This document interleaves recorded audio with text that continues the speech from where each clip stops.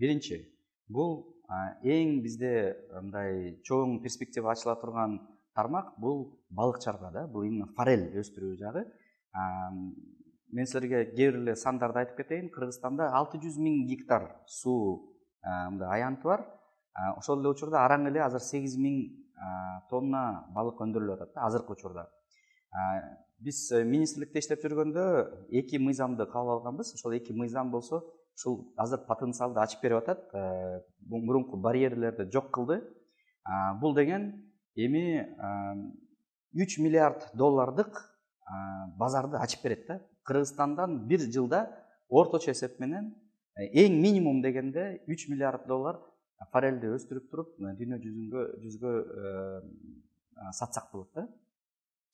Ошо ошондуктан мына силерге жөн эле мисал катары айтып кетейин ошол эле арменияда эки миң алты жүз эле гектар жерден жыйырма миң тонна азыр балык өндүрүлүп атат а бизде болсо алты жүз миң гектардан сегиз миң эле болуп атат да. Демек потенциал аябай чоң мен силерге азыр бир кызык нерсени дагы айтып кетейин кайра эле министрликте иштеп жүргөндө билесиңер ошол өзбекстанга тажикстанга башка өлкөлөргө дагы ушу малды чыгарганга биз бөгөт койгонбуз анын себептери эмне болгон бул жерде биз кыргызстанда малдын санын көбөйтүп туруп кыргызстандан мал сатпай кыргызстандан эт сатылсын дегендей саясат жүргүзгөнбүз анткени эт сатылганда ортодон кыргызстанда кайра иштетүү заводдор жакшы иштеп калат эт комбинаттары иштейт эт комбинаты иштесе жүн кыргызстанда калат эт комбинаты иштесе мүйүзүнөн анан туяктарынан болсо жер семирткич жасаса болот канынан болсо дарыларды жасаса болот мисалы үчүн ошол эле гепаринди анан ички органдарды дагы өзүнчө өзүнчө мындай бөлүп өзүнчө дагы сатса болот да. Ушул тармак аябай мындай көп перспективасы бар. Азыр дүйнө жүзү боюнча эт аябай мындай кымбат болуп кетип баратат. Ошол эле мына азыр жакында эле араб өлкөлөрдүн өкүлдөрү менен сүйлөшкөндө эгерде эттин сапаты аябай жакшы болсо аны керек болсо бир килограммын жыйырма отуз доллардан сатып алганга даяр болуп атышыптыр да. Бирок ал үчүн алар биздин кыргызстандын табиятын көрүп тоолорду көрүп ысык могу биздин сонун мындай мөңгүдөн аккан сууларды көрүп алып туруп алар айтып атышат силерден чыккан эт бул премиум сегменттеги эт болушу мүмкүн баалары аябай кымбат болушу мүмкүн депчи. Кашемирдин баасы азыр орточо баасы кырк доллардан алтымыш долларга чейин болуптур бир килограмм эми элестетип көргүлө бир орточо эчкиден жарым килограмм кашемир алсаңар болот да. Ошол эле бир эчкиден эле отуз доллар деген отуз доллар деген азыр канча где то эки жарым миң сом жүнүнөн эле аласыңар.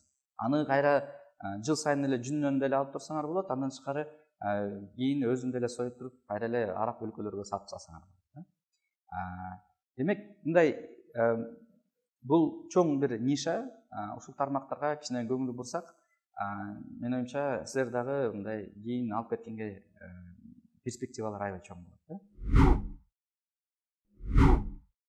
Дагы бир ниша жөнүндө айтып кетейин бул төртүнчү ниша бул бал өндүрүү да? Бул жактагы аябай чоң перспектива бар бизде анткени тоолуу аймак бизде ар кандай дарылуу чөптөрүбүз бар дегендей ар кандай мындай жакшы шарттарыбыз бар. Ошондуктан бул дагы биздин балыбыз билесиңер ар кандай эл аралык көргөзмөлөрдө гран прини алып биринчи орундарды алып жүргөн балыбыз бар. Ошондуктан бул дагы чоң перспективасы бар. Аны биз дагы алыскы бир аймактарга дүйнө жүзүнө өзүнчө чыгарсак болот да. Ушул балдарды өндүрүш үчүн айта кеттим. Кээ бир жерлерде мына дарылуу чөптөр өскөн жактардан болуп аткандыктан бешинчи нишасы бул ошол эле дарылуу чөптөр.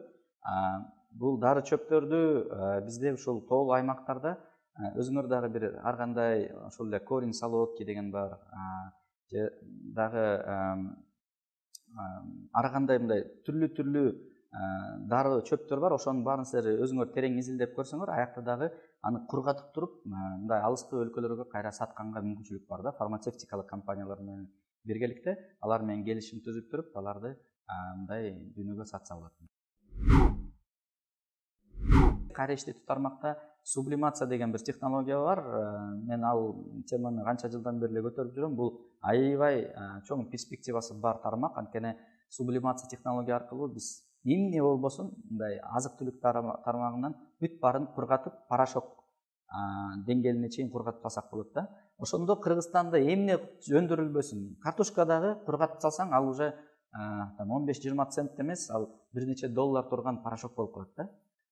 Он жыйырма долларга чейин туруп калышы мүмкүн бир килограммычы эң арзан продукцияны дагы биз кургатып алсак ошол эле мисалы үчүн алманы өрүктү кургатып салсак булар кийин натуральный сокторду чыгара турган концентрат болуп порошок катары болуп калышы мүмкүн да ошондой ар бир тармактарда ушул универсальный технология бар. Бул сублимация керек болсо сүттү кургатсаң болот керек болсо этти кургатсаң болот.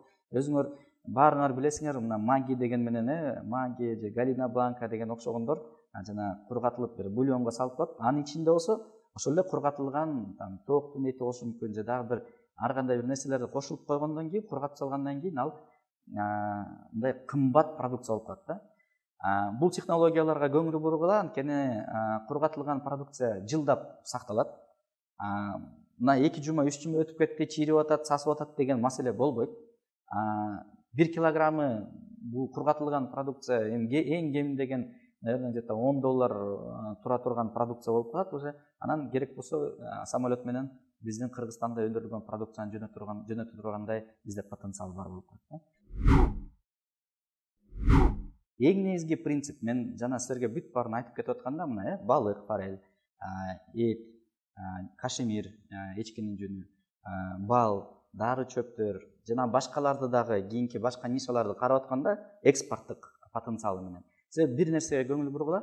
Булардын эң арзан деген баасы где то төрт доллар да. Эң арзан деген баасы. Эми төрт доллар болгондо силер керек болсо самолет менен дагы алыскы бир өлкөлөргө жөнөтсөңөр бир доллар бир жарым доллар төлөп жол киресине. Ошондо бул өзүн өзүн актап келет да анткени башка өлкөлөрдө бул бизде төрт доллардан сатып алына турган нерсе башка өлкөлөрдө жети сегиз доллардан сатып алышы мүмкүн ошондуктан жол киресин дагы жаап кетет да.